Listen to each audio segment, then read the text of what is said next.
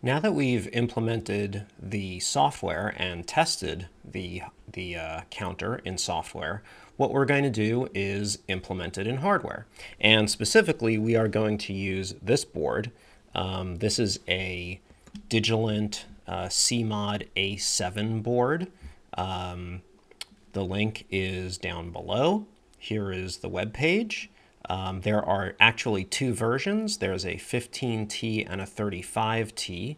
Um, you will actually want to get the 35T simply because it has more gates in it. So there's more, uh, more room for stuff to put in. Um, it's got two buttons, it's got uh, two uh, single color LEDs, and it's got a three color LED. Um, you can program it through USB, so this is quite a nice board. Um, it's also relatively cheap compared to all the other um, FPGA uh, evaluation boards. So that's kind of nice. Um, the Digilent page has links to the datasheet and to the schematics, which is quite nice. There is also a page on how to install the IDE that we are going to use. This is actually Xilinx's IDE called Vivado. Uh, so there's getting started with Vivado, installing Vivado, and especially installing Vivado board files for Digilent boards, uh, because there is some configuration that you do for the board itself uh, to let Vivado know what kind of FPGA is on it. Um, there's also a uh, programming guide, uh, which contains some other useful information, especially um, some configuration information. Uh, this is really important when you want to program the board and essentially get the program to stick so that you can uh, remove USB from the board and then just pop it into your breadboard, power it on, and hey, you know, your your uh, hardware configuration is downloaded to the FPGA automatically and it just runs. Uh, so this is a very important uh, page to, to know about. I have also created a reference card um, to the board that we're going to use. You can see that uh, we have the pins down here along with which FPGA pin those correspond to, and then some extra information about the pins. Uh, there's this connector up here called PMOD, or modules, um, or pluggable modules, or um, plug for modules, or whatever uh, Digilent sells a whole bunch of modules that you can stick in here. Uh, they are not cascadable um, like you would normally expect with, say, Arduino boards. Uh, but nevertheless, uh, if you want some sort of hardware capability like GPS or Wi-Fi, um, this is kind of convenient. We are not actually going to do any of that. We're going to connect it to an Arduino uh, to, to stimulate the hardware. Uh, there's also some information about the buttons and LEDs. Uh, the other thing is that the Digilent board has 512K by 8 SRAM on board. Uh, it's 10 nanosecond SRAM. So here is some information about the address lines, the data lines, and so on. There's a link to the datasheet.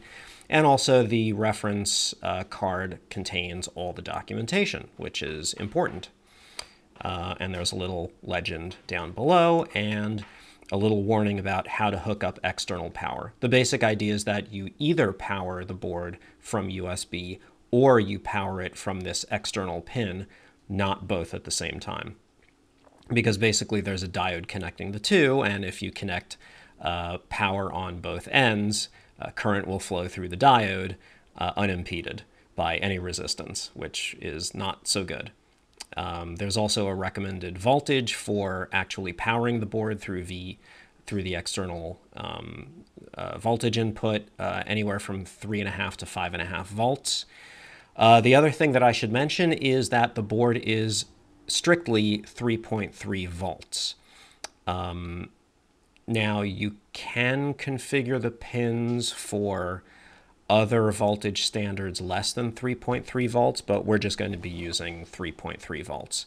Uh, do not connect any 5 volt uh, equipment to this board because you will fry it. That's really bad. Uh, and that's another important con consideration since we are going to be stimulating this using an Arduino. you will need to get a, uh, a 3v3 uh, version of Arduino, such as the Arduino Due, which I highly recommend. So here is the DigiKey uh, link to it. Uh, you can see that it is $89. Again, not that expensive compared to a lot of other FPGA uh, uh, development boards. Uh, the version of Vivado that you will download is the Webpack edition. It is free. Uh, the reason that it is free uh, is that it supports only a limited number of chips. There's the Artix 7, the Kintex 7, and a couple of other uh, uh, boards. Uh, generally, the Kinetics are larger than the Arctics. Um, I, I think and I hope that the Artix 7 that we're going to use, the 7A35T, is large enough to implement our CPU. That would be awesome. Um, if not, well, we're going to have to go back to the drawing board. But in any case, um, the Webpack edition is free. And the installation instructions, like I said earlier, are in uh, this page from Digilent, which is really nice. Again, all the links are down below. So let's get started with um, a project. So I'm going to start up Vivado. And here it comes. Great, we're going to create a new project. Okay, and I'm going to put it in my plug1 directory. Now you might notice that the directory is f colon. Yes, I am using Windows. Um, you can run Vivado on Linux. Uh, I haven't tried it, but in any case, my main machine is Windows, so I'm just going to run it under Windows. And the project name, I'm just going to call it Plug1A right? So this is basically the first revision.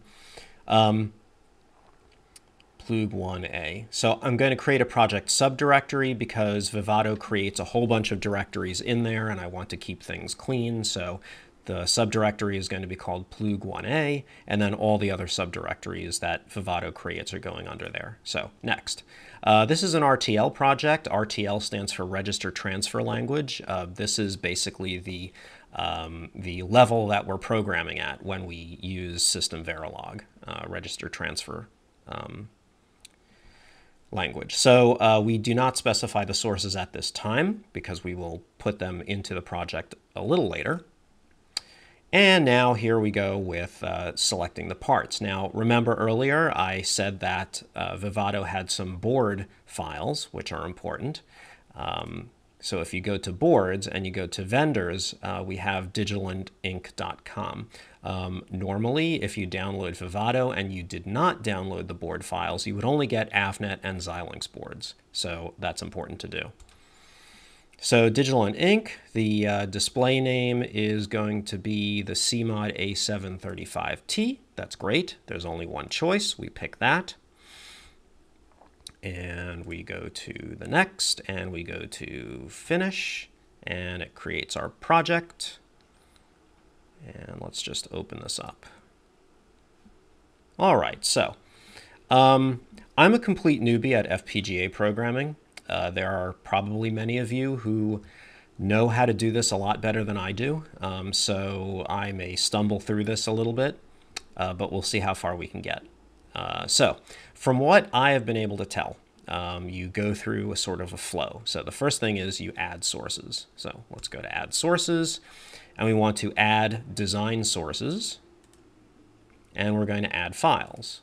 Now, when we add files, we're going to, hmm, where is my, where are me files? They're an F colon.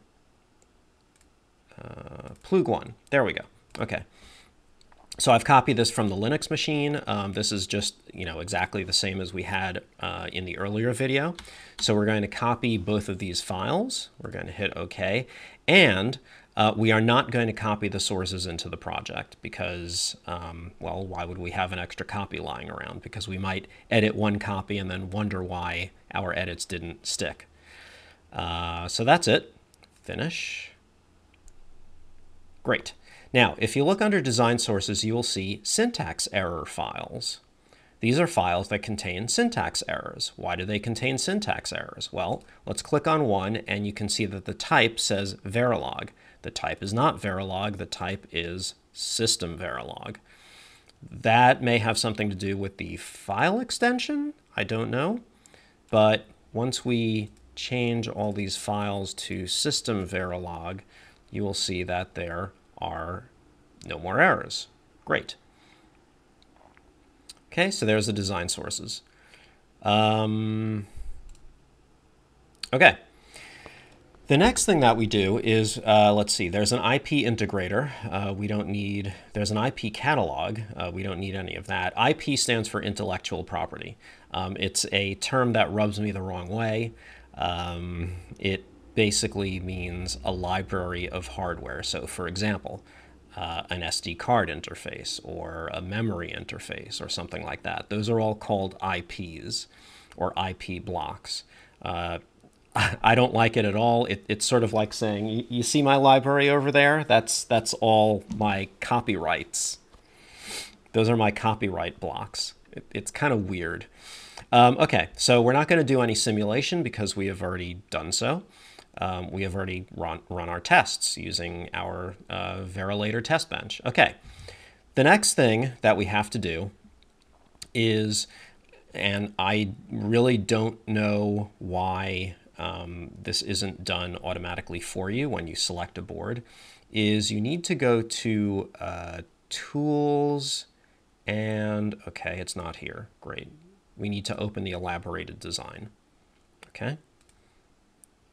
So elaboration is another word for basically compiling your system Verilog files. So we're going to open the elaborated design first. Great. Um, this is a footprint of the device. It tells you where all the pins are. Uh, we're going to use that in a moment, but not quite yet. So uh, now, if you go to Tools, you can see Edit Device Properties, and this is the really important part. So you go to Edit Device Properties, and under General, and this is all mentioned in the uh, in the um, Digilent uh, CMOD programming guide. Uh, let's see. We go to enable bitstream compression. You set that to true because apparently bitstreams are big. The bitstream is the thing that actually programs the FPGA. Uh, in terms of configuration, change the configuration rate to 33 megahertz. And for configuration modes, this is basically how to pro. Um, it tells Vivado what hardware is being used to program the FPGA. Um, the bitstream is typically stored in maybe a flash memory somewhere, so um, Vivado needs to be able to configure the FPGA to tell it how to load itself, basically. Um, and we select master SPI X4. So I'll just, oops, close. I will select that. Hit OK. All right. That was uh, one pretty important thing. Um, so let's take a look at DRC. Uh, or actually schematic. Okay, so this is what Vivado has determined um, our uh, hardware description describes. So you can see that it's fairly straightforward. We've got some inputs and we've got some outputs. We've got a bunch of flip-flops. This is our address register. Um, you can see that we have an adder here. This is a thing that adds one. And then we've got two multiplexers, which are driven from our command. One multiplexer is for the clock enable on these flip-flops, and the other multiplexer is for the data. And you can see that the data is multiplexed between adding 1, the load address, or uh, 0, or nothing. Um, and you can see that the clock enable um, is uh, multiplexed between 1s and 0s, depending on the command. So um, this is basically a schematic representation of what we wrote in System Verilog. Great. Now, if you look down below, and if you don't see this, um, up here there's a, a layout um, selection. You want to select I.O. planning. So I.O. planning is what you do when you say uh, which um, which inputs and outputs go to which pins.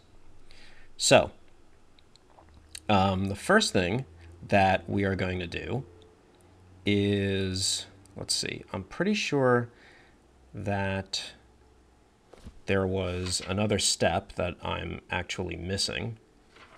Uh, let me go to Tools, Edit Device Properties again. Let me just check something. Um, startup. No. Ah, yes, okay. So under configuration voltage, you also have to specify um, what is connected to the FPGA's configurations. Um, configuration bank voltage selection should be set to VCCO. Again, I, I really don't know what these what these mean, and I'm pretty sure that there is something in the thousands of, of, of pages of data sheets that Xilinx has that explains this. And configuration voltage is 3.3 volts. Okay. Okay, now we've now we've done it. All right, so if we go down here to the I.O. ports, we can see that there's an I.O. standard that you can select. Now the default is apparently low voltage CMOS 1.8 volts. We want to change that. We're going to change everything to low voltage TTL. Now, what's the difference between low voltage CMOS 3.3 volts and low voltage TTL? They're both 3.3 volts, but uh, CMOS is really for driving very low loads in the basically up to about 100 microamp load. Um, low voltage TTL is for when you want to drive uh, loads that are maybe up to about 20 times higher than that, like maybe 2 milliamps or so. Um, so we're going to select low voltage TTL for pretty much everything. Low voltage TTL, low voltage TTL. And then we've got two scalar ports. The scalar ports are one bit um, vectors essentially. And of course, a one bit vector is like a scalar. Um, so we're going to select also low voltage TTL on these things. Great. Now we have to decide what pins we want to use. So if we open up address, we're going from 10 down to 0, and we have to select what package pin. Uh, for whatever reason, board part pin isn't coming up. I have no idea why. So let's take a look at our handy uh, reference card. Uh, here we have a whole bunch of pins that we can use. It would be nice to put the address lines together. So let's just start from the top. And we'll declare this pin as a 10, the next pin down is a9, and so on. So we have M3, L3, A16. Um, oops, I have just somehow changed the direction. There we go.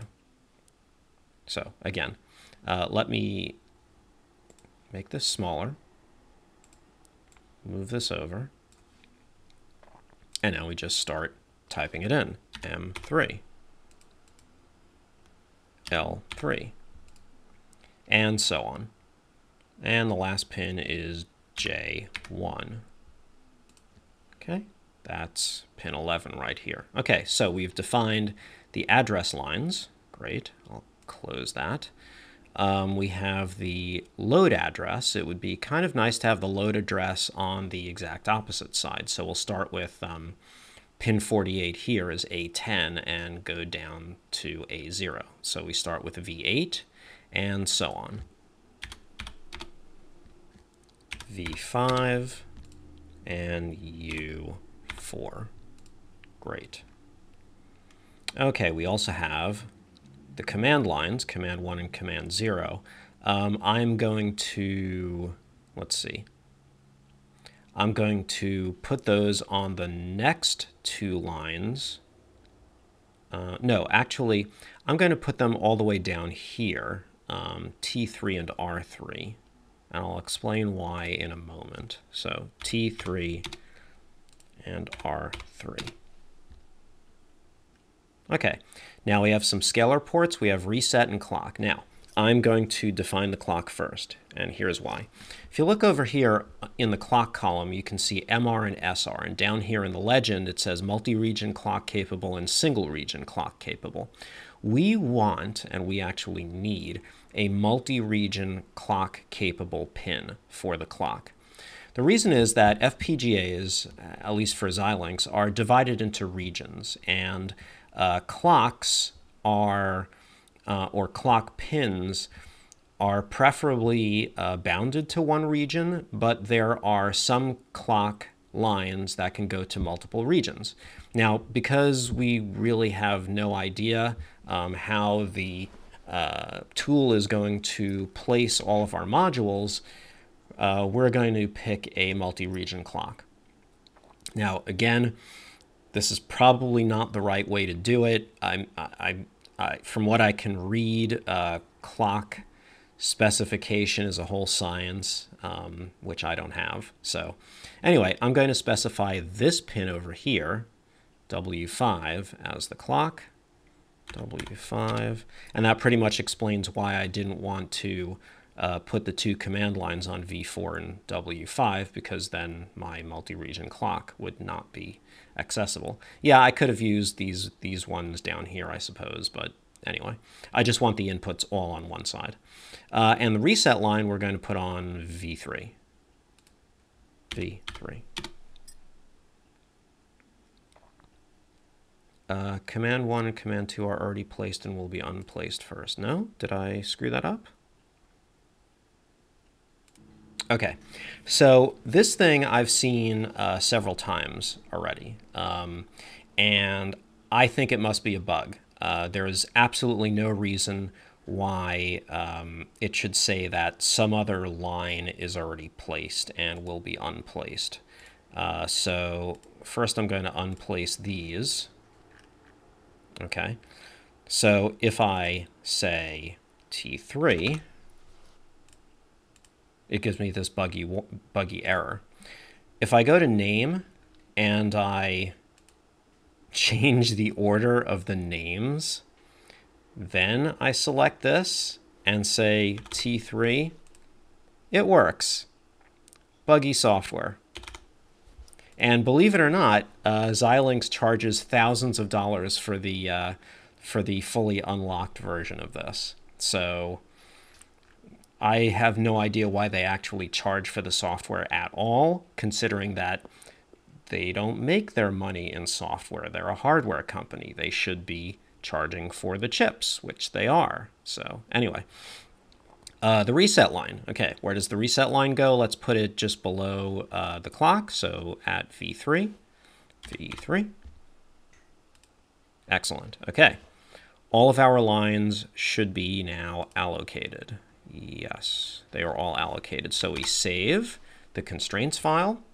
If we go to sources, you can see that we now have a constraints file, which basically constrains the design to uh, placing certain pins at certain ports. Great. So let's go to report DRC and see what happens. So DRC is the um, is the uh, design rule check. So we want to make sure that we didn't do strange things like connect inputs to inputs or outputs to outputs. Um, so we're just going to run this and no violations found. That's awesome. So once we've done that, uh, we are going to run synthesis. And in the upper right here, we will see that we're running the syn syn synthesize design. Um, program. And it just keeps going. Great. Uh, so we can open the synthesize design. Now what synthesize means is it takes the register transfer uh, design and converts it into gate level designs. So um, the thing, things like the multiplexers and, and, and uh, the clocks get expanded. So if we um, open this we can see uh, maybe if we go to where's synthesis schematic, you can see that this is a lot more complicated. So basically what, it, what it's done is it has broken down every single multiplexer and it's even uh, placed buffers in there. Um, it's uh, broken up every flip-flop. So yeah, it's a lot more complicated.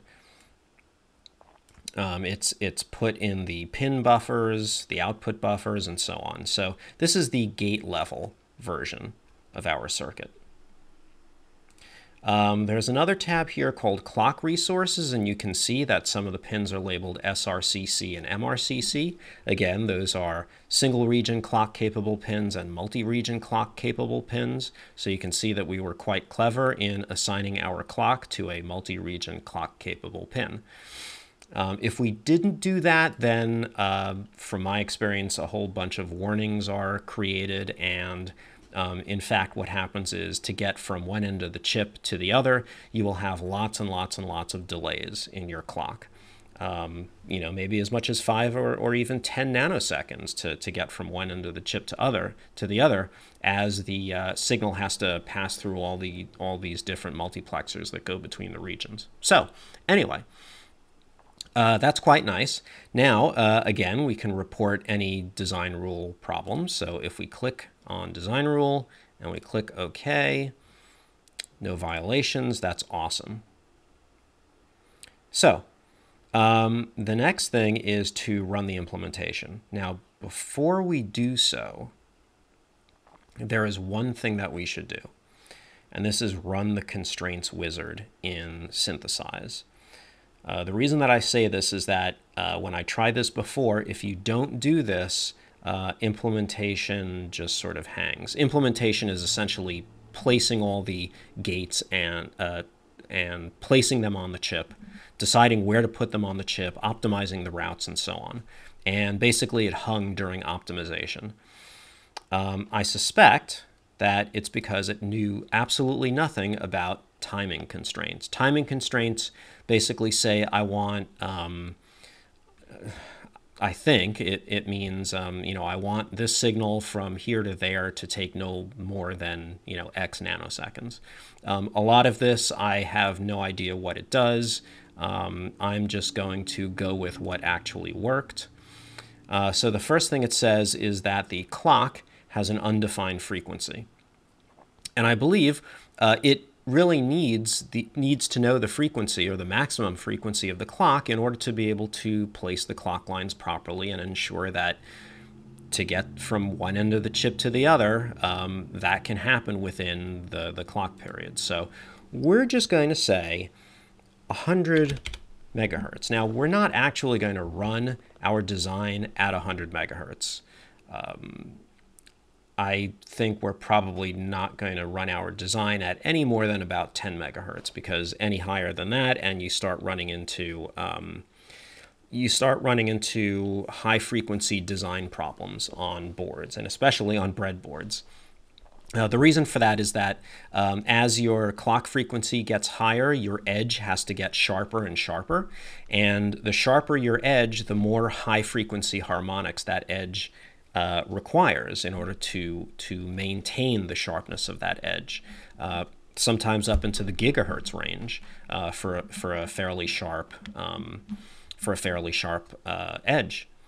Uh, and there's no way that you're going to run one gigahertz signals on a breadboard. So this is why on breadboards you typically want to limit your frequency to, to very low frequencies. And as a rule of thumb, that's that's maybe 10 megahertz, maybe even below that. So, but anyway, we're going to specify that we want ideally our uh, circuit to be able to run at 100 megahertz. So if we if we go to through the next things, there are no recommended constraints. Uh, there are input constraints here. I have not been able to figure this out. Um, I don't really know um, why the data signal is referenced to the positive edge because these are inputs. And why would an input happen after the input clock? I did notice that if you change this uh, synchronization to source, um, then it looks a little more reasonable to me in that if you have input data and an edge, there's usually a setup time and a hold time, and I guess that's what this means, but I have discovered that you can click that off and just continue. And you can, and this, and these are output delays. And again, for the same reason, I don't really understand this diagram. Um, click that off, just go to next, go to next, next, next, next. And those, those last few uh, pages had to do with multiple clocks, which we don't have. We have a single clock. So finish. And uh, okay, what that did is it added some lines to our constraints file about the clocks. So now I'm just going to save the design, Control S. Now I'm going to run the implementation. Synthesis is out of date. Okay, that's good. Um, probably because we added a constraint, maybe. So, okay to launch synthesis first? Yes. Implementation will automatically start when synthesis completes. That's great. So we're going to resynthesize. So there it goes, synthesizing the design. So that's great.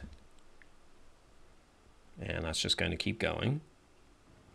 Okay, synthesis complete, and now it is uh, going to start the implementation. Okay, this is optimizing the design, so it's basically placing things and routing them. And this is, uh, this is the place where it hung before when you didn't actually specify the clock speed. Okay, now it's placing and routing. Okay, I guess optim optimization wasn't place and route. But this is definitely place and route. And presumably what it does during place and route is it tries to maintain the clock constraints that you set up. Uh, because obviously you can come up with a really inefficient design that takes signals forever to get from one end to the other. Okay, that's it. We could open the implemented design and take a look at what it did. So you can see that this is the FPGA device. There are six regions. Um, one of the region, one of these regions, I think, is unbonded, which means that there aren't any actual pins that go to it, but there are these other five regions. And if we take a closer look, um, here are some pins. Can take an even closer look, see what it did. Okay, what's that? Is that a pin? That is a pin. That's another pin. So these are the pins, and these are the routes. Um, we can even zoom in even further and look at all sorts of crazy stuff. Um, so here you can see that there's um, there's a, a, logic block here having to do with the pin, and there's uh, a wire, and it goes through this logic block, and then it goes through this sort of um, crossbar thing, and then it goes off, and and so on. So uh, and you can see that we're using, we're going across this region into this region, down into this region. And I think uh, some of these some of these lines here might be the clock lines. Um, typically, the multi-region clock lines run down the middle of the chip. Um, and you know there are some outputs over here. So that's pretty cool. Um, it, it doesn't really tell me anything. So this is interesting down here, the design timing summary. So you can see the worst negative slack is 7.0 nanoseconds, and the worst hold slack is 0.2 nanoseconds. The worst pulse width slack is 4.5 nanoseconds. I'm not sure what slack is. I'm going to click on 7.0 nanoseconds, and you can see uh, that there is a path that goes from an address register, clock, uh, C, that's clock, to an address register, that's data. Um, I don't really know what that means. Um, why would address register zero? oh, yeah, of course. All the clocks are connected together. So this is uh, from clock to data. Um, I guess that would be the delay, total delay 2.9, logic delay 0.9 nanoseconds, net delay 2 nanoseconds, and the requirement is 10 nanoseconds. Uh, ah, okay, so slack means how much, uh, how much of your clock period do you have left um, after, um, after all the path delays. So you can see here that the total delay is 2 point, about 2.95 or about 50 picoseconds shy of, um, of 3 nanoseconds out of the 10 nanoseconds that we've told uh, Xilinx how much, uh, how much we require the, the chip to go from end to end. So that's pretty cool. Um, there's a warning here, and basically it says, oh, we didn't specify input and output delays. Those are those uh, clock constraints that I know nothing about. So uh, presumably, I guess, if we put in some clock delays, we can get some better um, timing here. Um, this says setup and hold. I don't know why there is a clock setup and hold. Um, but yeah, this is a little bit of a mystery to me, uh, but that's okay because we're just going to test it and continue. So now that we have run the implementation, the last thing that we need to do is generate the bit stream. So this is the, in the Arduino world, this would be the, the, the flash or the executable um, that you're going to download. So the first thing we need to do first uh, is go to the bitstream settings. And under bitstream settings, there's minus bin file. You need to check that because what that does is, uh, is it sets up, there are, there are two formats of file. There's a bit file and a bin file. The bit file is used to just load the FPGA from USB directly. Um, that means that you can load the FPGA and run it, uh, but when you power it off and power it back on again, the FPGA is blank, essentially. Uh, the bin file is what's used to uh, go into the flash. So the bin file gets programmed over USB into the flash memory of the board, and then the board resets and the flash memory will load the FPGA. So this way you can disconnect it from USB, power it off, power it back on again, and uh, the FPGA will immediately load itself from the flash and your, your hardware will go. So we want to make sure that that is checked. So we hit OK. Then we generate bitstream. So you can see that we're, we're going through a, a flow where we're adding sources, we're uh, elaborating, we are synthesizing, we are implementing, and we are generating the bitstream. So here we're doing write bitstream. Now, if you have any comments about what I might be doing wrong, and I'm sure I'm doing plenty wrong, or if you have any comments about what these clock delays actually mean, um, please log on to the eevblog.com forum uh, and go to projects and find my project, which is uh, building a CPU on an FPGA that can play Zork. Uh, join that thread and comment away. Uh, I'm not enabling YouTube comments because we all know uh, about YouTube comments. So, all right, we have generated our bitstream, so uh, we can view reports or we can do whatever. What we're going to do is we're going to open the hardware manager. Okay, so it says no hardware target is open. That is correct. That's because I have not hooked up my board to USB. And I'm going to do that now. So I'm plugging in one end of the USB cable and I'm plugging in the other end of the USB cable. And the first time you do this, um, there will be a driver uh, that gets installed and it takes a little while, but it will get installed. I've already done that, so I can just hit open target and auto connect. So this will automatically detect uh, the board. And you can see that indeed we have detected our XC 7A35T um, FPGA. Now to program it, I can go down here to program device and we select the FPGA and we need to select the correct bitstream file. This is the .bin file. Um, so we find it here and hit OK and hit program. Okay, now that took, uh, that was fast. Ah, okay. Sorry, my bad. Um, what that did was it programmed uh, the, the board over a USB. That's not what we wanted to do. We wanted to program flash. So what you have to do instead of program device, you need to add configuration memory device. And we're going to click on that. So um, again, this is in the um, in the programming guide. Yes. Now this is in the programming guide for the CMOD uh, chip. Um, programming the CMOD A7 using JTAG is what we did when we programmed over USB, not directly into Flash. This is basically directly into the FPGA. What you want is programming through Quad SPI. The Quad SPI is, is the Flash chip. So you can see that we're going to add configuration device, and you can see that we're going to select Micron. And you want to select the N25Q so we're just going to search for N25Q, and there's a bunch of them. We specifically want the Q32 3.3 volts. 32 3.3 volts. Hit OK.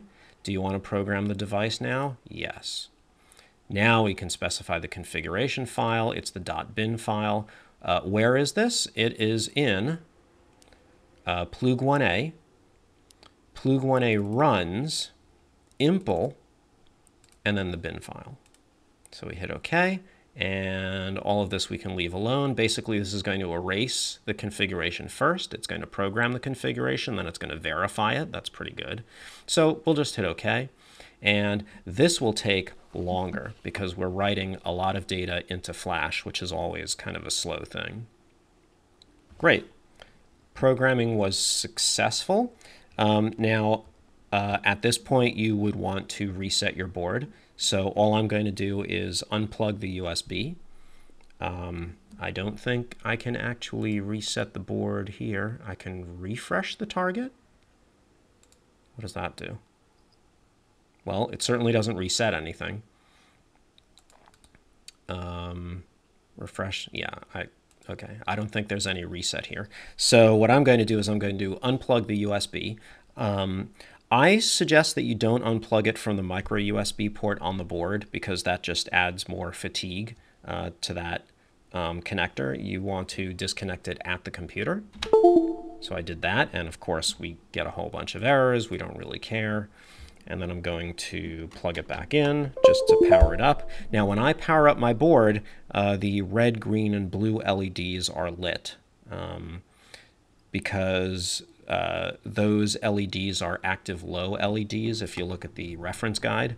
Um, so I think by default they would just be on, um, which is good because it means that the FPGA is alive and doing something. Or is it? Well, in the next video, what we're going to do is actually hook this up to an Arduino and write a little Arduino sketch that can send commands to the board and read back the address that it's in. So until then, take care.